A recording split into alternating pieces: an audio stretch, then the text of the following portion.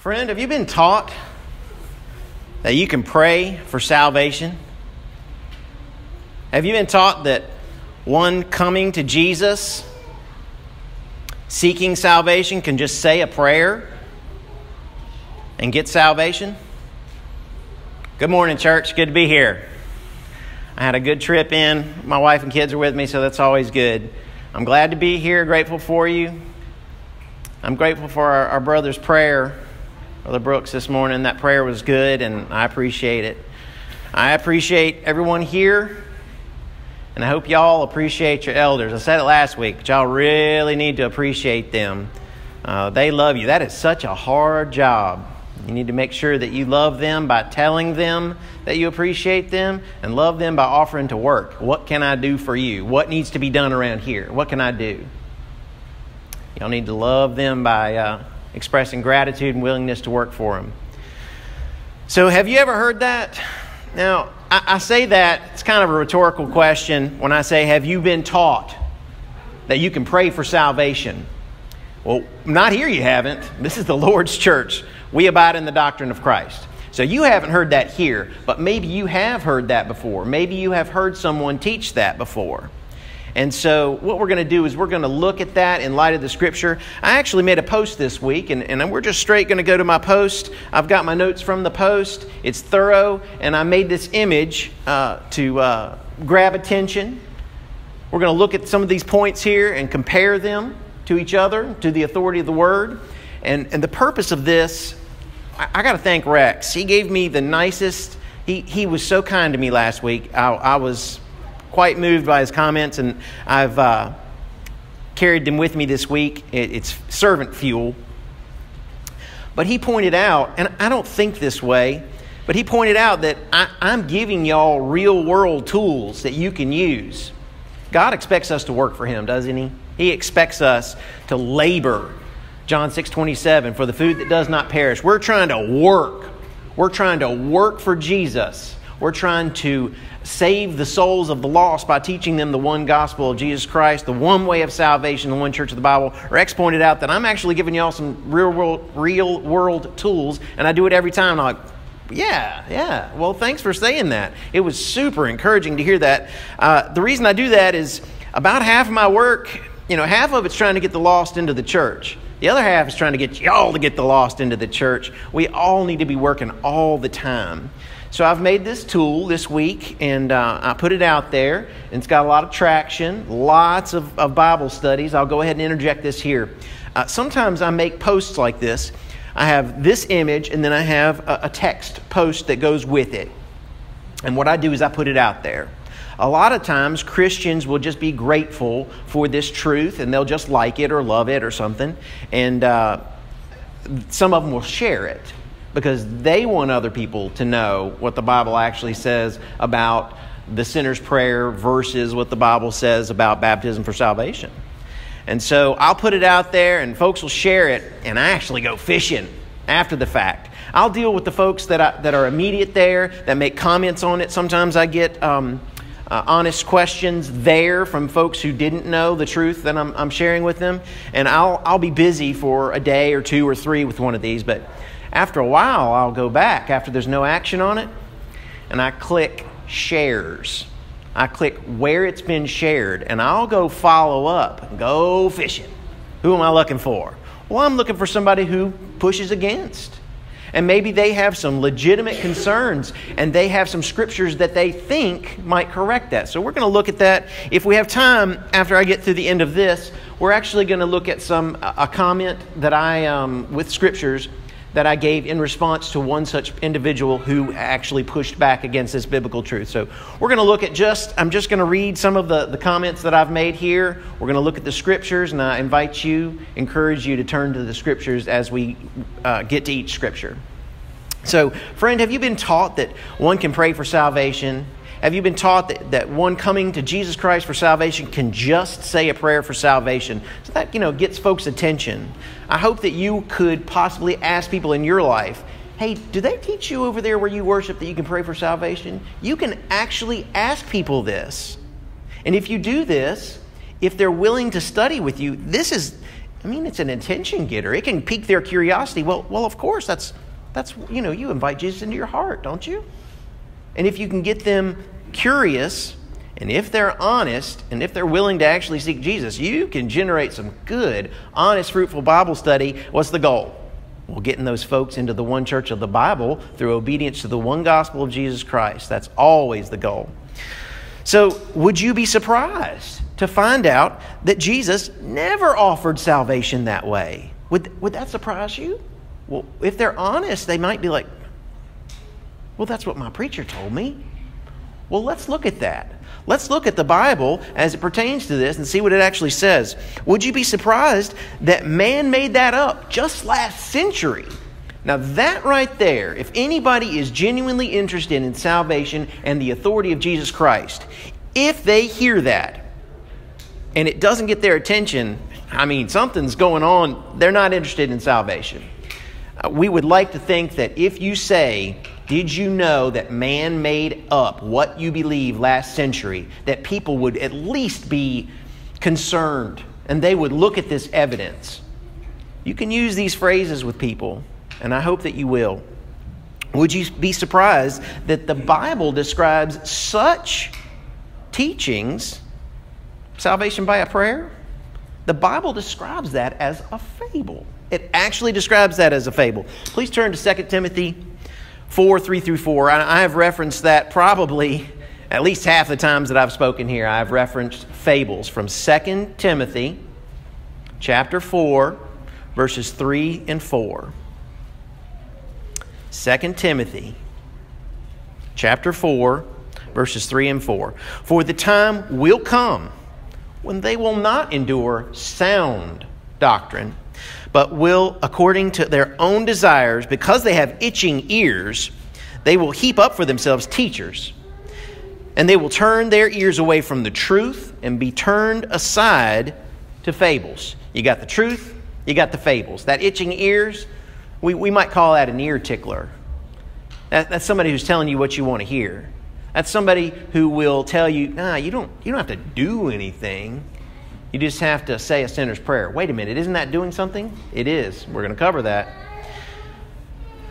Heaping up to themselves. Hey, let's get that guy to come in. He teaches that same faith alone stuff. He teaches that same sinner's prayer that this other guy that we, that's heaping themselves to themselves, teachers having itching ears.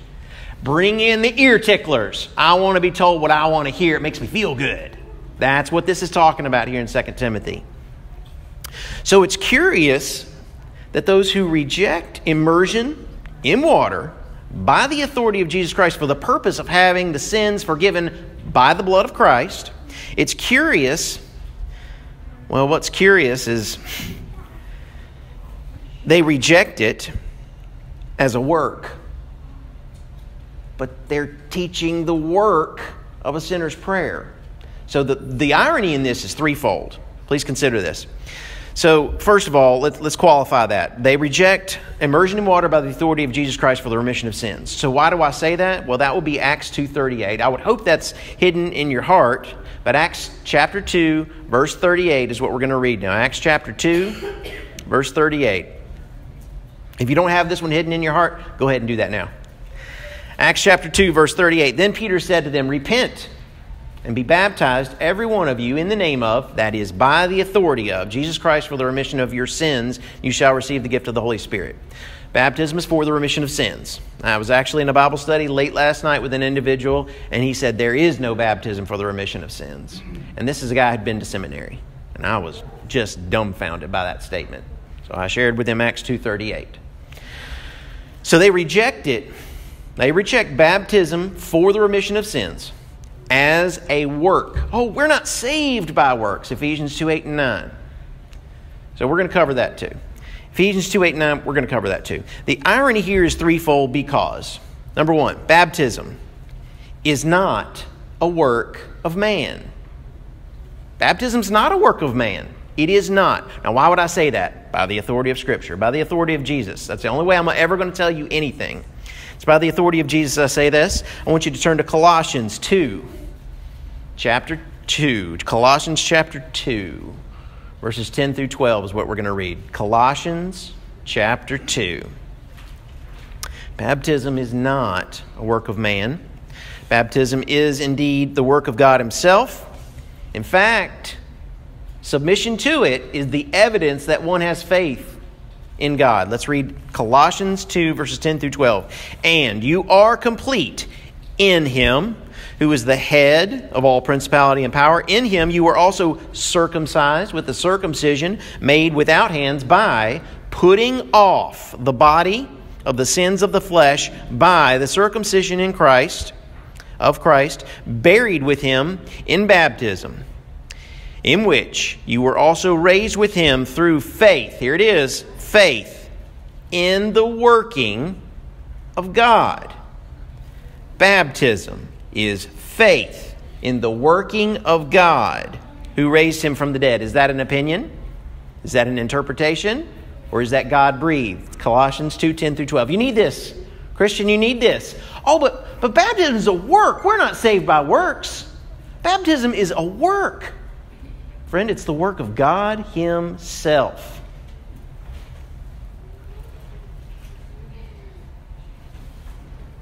Colossians 2 10 through 12 is your first piece of evidence that you need. Number two, the second reason why this is totally sadly ironic the sinner's prayer is a work of man, it is something we do. Not only is it an ineffective fable made up by man, it's something the individual does himself. So the irony is oh, we're not saved. You can't be saved by baptism. That's a work. It is not a work that the believer does, it is a work done by God Himself. Oh, but you're saved by the sinner's prayer. But that's a work.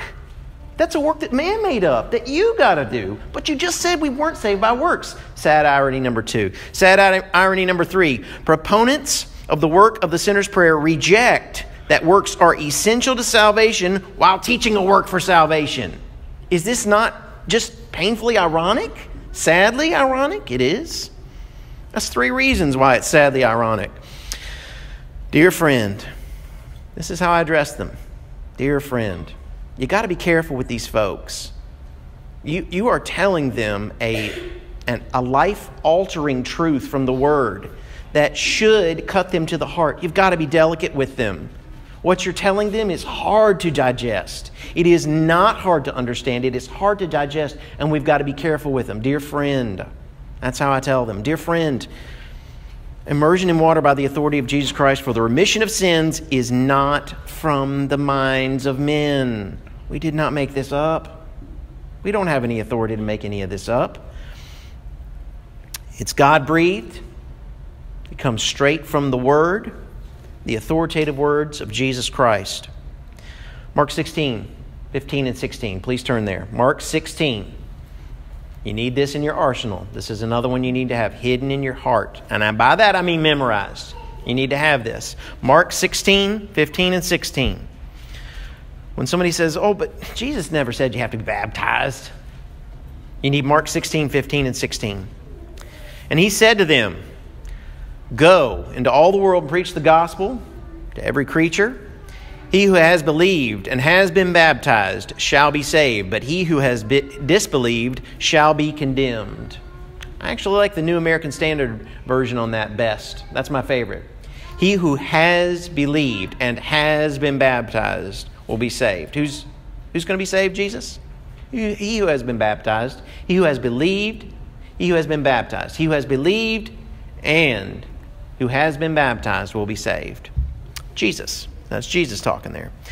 So, baptism's not a work that man does whereby they can earn salvation. So many times when we teach God's terms for salvation, Jesus' terms for salvation, Jesus' merciful offer for salvation for those who believe and are baptized. Oh, but you're teaching man earns salvation. Why aren't you teaching? Why are you not teaching that man earns salvation by saying that prayer that somebody made up last century? Man does not earn salvation when we meet God's terms for salvation. The reason the sinner's prayer does not work. The reason the sinner's prayer does not work is because man made it up. You need to drive that one home for them. You need to stand on it, repeat it. Man made it up. Man made it up last century. It's not from God. Jesus did not offer this. It's a fable. Man made this up last century. If they don't wrap their mind around that concept, man made it up last century. Just say it again until that actually gets their attention. Man made up the sinner's prayer last century. You got to repeat it sometimes. He did Jesus never offered salvation that way. He did, however, command us to go preach the gospel and offer salvation to those who believe and are baptized. Mark 16, 15, and 16. Uh, further, we are warned what's going to happen to anyone not obeying the gospel. Please, please put this in your, in your banks right here, in your memories. Go preach the gospel. He that believes and is baptized will be saved. Now I want you to pair this with 2 Thessalonians 1 8. Please turn to 2 Thessalonians 1 8. Keeping in mind that Jesus said, Go preach the gospel, he that believes and is baptized will be saved. 2 Thessalonians verses 1, chapter 1, verses 8 and 9. 2 Thessalonians 1, 8 and 9. One more time. Go preach the gospel. He that believes and is baptized will be saved. You need to remember that when presenting 2 Thessalonians 1 8 and 9. In flaming fire, taking vengeance on them that know not God and obey not the gospel of our Lord Jesus Christ, these shall be punished with everlasting destruction from the presence of the Lord and from the glory of his power. You think those two things are connected? Go preach the gospel. The gospel? He that believes and is baptized will be saved in flaming fire, taking vengeance on them that know not God and obey not the gospel. Go preach the gospel. If you don't obey the gospel, it's flaming fire and the vengeance of God. Go preach the gospel. He that believes and has been baptized will be saved. In flaming fire, taking vengeance on them that know not God and obey not the gospel of our Lord Jesus Christ. 2 Thessalonians 1 8. You need it in your arsenal.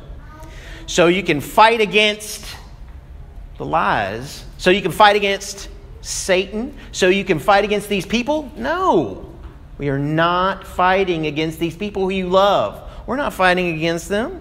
We're fighting for them on their behalf against Satan, against his faith only false teachers, against the people that he has got bamboozled. And those people who are deceived and repeating that deception. We're not fighting against those people. We're not fighting against people. We're fighting against Satan and false doctrine. You need Mark 16, 15, and 16, and 2 Thessalonians 1, 8, and 9 together. So at this point, I asked them, Dear friend, after showing them this evidence, you can do this too. Dear friend, won't you take him up on his most merciful and entirely understandable offer for salvation for those who believe and have been baptized? I know you understand it now. It's time to present that offer at that point. Once you've taught them, the sinner's prayer is a fable. It's sad irony for these three reasons. And Jesus offered salvation for those who believe and are baptized. It, it's, it's time. It's time. You can offer them salvation at that point by the authority of Jesus Christ. Make sure you point out that we're not teaching that you earn it, we didn't make it up. This is Jesus talking here. If you have been taught that salvation is by prayer, you don't have to keep believing it. You don't. You can start believing Jesus instead. Believe instead that it doesn't work, that sinner's prayer, because man literally made it up last century. Believe instead Jesus when he said, He that believes and has been baptized will be saved. So Jesus has all authority. I need you to turn to Matthew 26, Matthew 28, 18 through 20. Matthew 28. Matthew chapter 28, 18 through 20. Hide this one in your heart. Put it in your tool bag, servants. Are you a servant? Well, you need this tool in your tool bag. Jesus came and spoke to them, saying, All authority has been given unto me in heaven and on the earth. Go therefore, talking to you, Christian, go therefore and make disciples of all the nations, baptizing them. By what authority? In the name of the Father, the Son, the Holy Spirit, teaching them to observe all the things that I've commanded you. And lo, I am with you always, even to the end of the age. That's Jesus talking there. Share this evidence with them. Make sure they know it is in the name of the Father, the Son, the Holy Spirit, by the authority of Jesus having all authority, not an opinion. So at this point, just straight up, tell them you love them. Is it weird and awkward? Sometimes it is. Is it weird and awkward when I tell strangers that I love them? Yes, it is. I don't care. I love you. not in a let's go eat cheeseburgers and go bass fishing way. I love you in a let's go to heaven kind of way. I love you in a I want you to have the blood of Christ kind of way. I, I need to love these folks in a I want you to go to heaven kind of way. I want you to benefit from all spiritual blessings that are only found in Christ Jesus, Ephesians 1 3 kind of way. So at this point, it, it, it's a work done by the individual himself. The sinner's prayer it is. But baptism is a work done by God Himself. Made up last century, it's by the authority of Jesus Christ. Does not result in salvation, results in salvation. 1 Peter 3 20 and 21. Here's my uh, commentary on 1 Peter 3 20 and 21. I love this, it is potent. Eight souls were saved by water. Just like that, baptism now saves you. It doesn't wash the dirt from the flesh. Instead, you get a clear conscience through the resurrection of Jesus Christ. Who has gone through the resurrection of Jesus Christ? Paul asks in Romans 6, Don't you know this? He actually starts by saying, Know ye not? Only as many as were baptized are united in death with Christ and raised to walk in newness of life. That is how baptism now saves you. Through the resurrection of Jesus Christ, only those baptized have gone through the resurrection of Jesus Christ. At this point, we've gotten some pushback. So I have it right here. The pushback came, and we're going to consider what you say to this. Do you, church, do you know what to say? Oh, but, but Romans 10 9 and 10. Oh, but you need to be baptized to be saved. Oh, but Romans 10 9 and 10. You know what Romans 10 9 and 10 says? Let's read it. Romans chapter 10, verses 9 and 10. You need this evidence.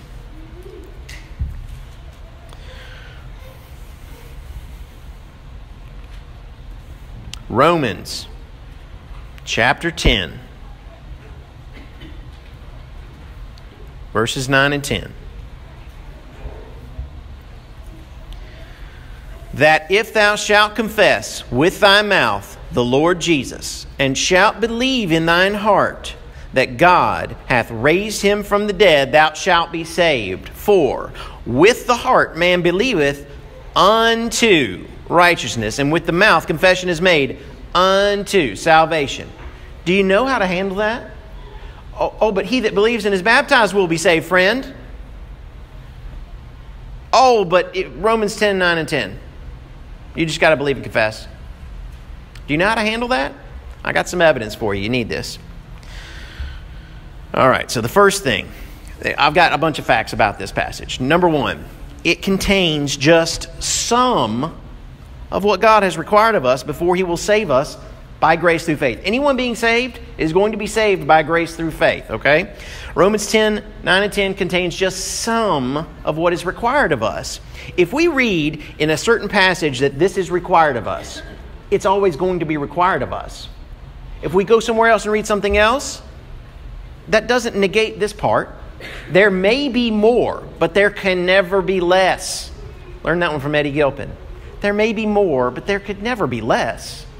All right, so the first thing is it just contains some of what is required of us. Number two, it can't contradict any of the other scriptures that reveal other of God's requirements of us. It can't contradict. Number three, it was written to the saved. It was written to the church, the church at Rome. How can we know this? Well, Romans 10 1 starts with brethren. It starts by addressing brethren. It addresses the church. Those folks that are using Romans 10:9 to say, oh, you don't have to be baptized for salvation, are trying to use baptized believers as a reason why they think they don't have to be baptized. How is that logical? It's not. How is that logical? It's not. You cannot use baptized believers as a reason why you don't have to be baptized. It's not logical. And once you've learned it, it becomes dishonest if you repeat it. I'm going to throw that one out there. Let's look four chapters previous. Let's go back to Romans 6. We're going to have to have the context of Romans 10 by going four chapters previous. Let's go to Romans 6. We just covered this. Just my, uh, my um, commentary on it, that is, after coming out of 1 Peter 3 and 20, 20 and 21. So, the first, the third and fourth verses Romans 6, verses 3 and 4, we're going to read them together. Or, do you not know That's the know ye not from the KJV. Do you not know that as many of us as were baptized into Christ were baptized into his death? Therefore, we were buried with him through baptism into death, that just as Christ was raised from the dead by the glory of the Father, even so we should walk in newness of life. Don't you know this? Paul asks. The Apostle Paul. Know ye not? Don't you know this? Only as many as were baptized. So those people in Romans 10 9 and 10, they're called brethren. And then four chapters previous, it says that they only as many as were united in death with Christ are raised to walk in newness of life. But verse 17 is really helpful here. Romans 6, verse 17, as it pertains to both Romans 10 and Romans 6, 3 and 4. So we're going to drop down to verse 17 here. Romans 6, verse 17. Now keep in mind, only as many as were baptized are united in death with Christ. And let's see what 17 has to say about this. God be thanked that you were the servants of sin, but here's the smoking gun. You have obeyed from the heart that form of doctrine what was delivered you. Those people, those believers, they were baptized to obey the form of doctrine that had been delivered to them. And then four chapters later, they're told, hey, you need to keep believing and keep confessing Christ's deity. That follows with Jesus' Great Commission. Keep telling people Keep believing that Jesus is the Son of God.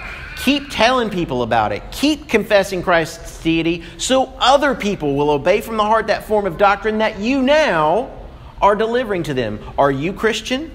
Are you delivering this form of doctrine that we just read about? Are you delivering it to folks? It is your job, Christian. You need to work hard for Jesus. He expects us to labor for the food that does not perish. John 6 27. More.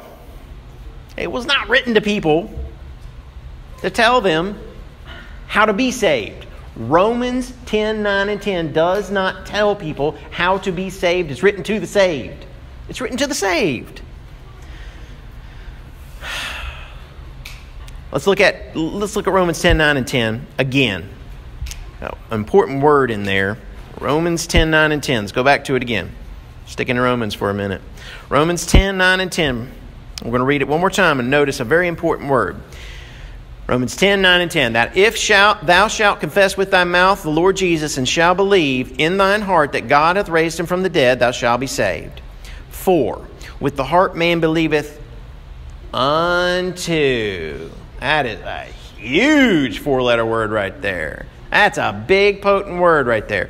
The heart man believe unto righteousness. With the mouth, confession is made unto salvation. You know what another word that's real important, it's real close to that word is? Got to change one letter, and it's called into. I N T O. Into. You've got to get into Christ. You're unto righteousness. You're unto salvation with belief and confession. But you've got to get into Christ. Boy, I have given you an arsenal right here. I hope that you'll use it. How are we going to get into Christ? Two passages, one way. How are you going to get into Christ? Two passages, one way. The Bible reveals exactly one way that you can get into Christ. Before we quote these, and we've already quoted one of them, before we quote these, I want you to consider that all spiritual blessings, Ephesians 1 3, are found in Christ. Ah, let's go there. Ephesians 1 3. Ephesians chapter 1. Ephesians. Written to the church at Ephesus, who was baptized. Ephesians chapter 1, verse 3. Blessed be the God and Father of our Lord Jesus Christ, who hath blessed us with all spiritual blessings in heavenly places. And where are they? In Christ. All of them are in Christ. You think salvation is a spiritual blessing? I guarantee it. Where is it? It's in Christ, along with all the rest of the spiritual blessings. How do we get there? Now, Romans 6, 3 and 4, that we've covered several times now, tells us only as many, don't you know this? Oh, know you not? Only as many as were baptized are in Christ. That's one of the two verses, passages, that tells us how to get into Christ. And the other one tells you the same thing. It's Galatians 3.27 for as many of you as we're baptized into Christ have put on Christ. We haven't even scratched the surface on the evidence regarding baptism for salvation, for the remission of sins, which is by the authority of Jesus Christ. We haven't even scratched the surface. I've given you one example, just hitting hard on Romans 10 9 and 10. We've pointed out that the sinner's prayer is a fable made up by man last century, and it doesn't work because of that. We've pointed out that baptism for salvation is by the authority of Jesus Christ. It's the only way to get into Christ. It's the only way to get the spiritual blessing of Christ. When people say, oh, but Romans 10, 9, and 10, now, Christian, you're armed. You got no excuse. I want you to use all this information. And if you did not get good notes on it, you know what you can do? Do what one, other, one of our sisters here did. Can you give me those notes about the rapture you delivered that message last week? You better believe it. Click, bang, you got it. I got this right here, and actually, this is one of my more organized notes because I, I made it as a text post for Facebook, so it's actually better organized than most of my notes. Most of my notes are pretty uh, sparse, to say the least. If you want this evidence, I want you to want this evidence. It's organized, it's neat, you can use it, you might just send it along. Or you might just send this message along because you know what? I got it recorded. Yep. And when I post it, it will have all the supporting scriptures. If you don't like Facebook, I put it on YouTube too. You can share this message and get those folks out of those spiritual dead end denominations that deny Christ by denying his words. Oh, they can say, Oh, we believe in Jesus. But when they deny his words, that he that believes and that has been baptized will be saved, when they say, no, no, no, no, you don't have to be baptized to be saved, that's denying Christ and that's not believing in Christ. When they say, he that believes will be saved and then baptized, you know what that is? Wresting. W R E S T, wrest. Wresting the scriptures to their own destruction. They have reversed the words of Jesus, and that is not believing in Jesus. You know, you have friends I know you have friends. I know you have relatives that believe against the authority of Jesus Christ and thus do not believe in Jesus Christ. We need to love these folks. It is hard, it is uncomfortable, but you can do this Philippians 4:13 through Christ who strengthens you. I hope this has been beneficial to you. I go hard every time, don't I? I love that truth. Oh, I love biblical truth. Oh, I love you. I want you to be ready I want when Jesus comes in the clouds, I want him to be able to look at you and say, Wow, that sister worked hard teaching her neighbor. That neighbor just said, No, Romans 10, 9, and 10. And, and she tried again, and she gave her the evidence that those were baptized believers. Oh, but, but no, Ephesians 2, 8, and 9. Oh, but they were baptized in Acts 19, verses 1 through 5. That sister, oh, my child, God will say, you worked hard for me, for that food that does not perish. John 6 27. I want you to be ready. Christian, you're going to have to work hard for Jesus to be ready. He expects us all to be hardworking servants. If I stepped on your toes, you know how, to, you know how you move them? You know how you fix me stepping on your toes? Go teach your neighbor. That's it. Go teach your brother in law. Go teach your mother. Whoever it is that you know, that coworker, Go teach them. That's how you move, move your toes out from me stepping on them. Just work for Jesus. Teach those people about the one way of salvation. If you haven't obeyed that one way of salvation, now's the time. Maybe you did something different. Maybe you accepted Jesus into your heart. Fable. Maybe you invited Jesus to be your personal Savior. Fable, last century. Maybe you said that sinner's prayer. Last century fable. Maybe you've been sitting on that pew for five years or 35 years and you never did it right. Maybe you were baptized thinking you were already saved. Well, friend, that is not baptism. That's just not baptism. Just like sprinkling a baby isn't baptism. Just like uh, pouring water over somebody so they can be voted into a denomination is not baptism. If you went down to the water thinking you were already saved, you were neither saved nor baptized. I love you. If you need to repent of anything, or as I always say, if you just need prayers for anything, we are family, spiritual, eternal family, and that's what we do for each other. Any kind of need, any kind of spiritual need, make it known now if you need to repent of anything, or if you need to go down to the water so the blood of Jesus Christ will forgive you of your sins, now's the time. Any need, come on now while we stand and sing. I love you.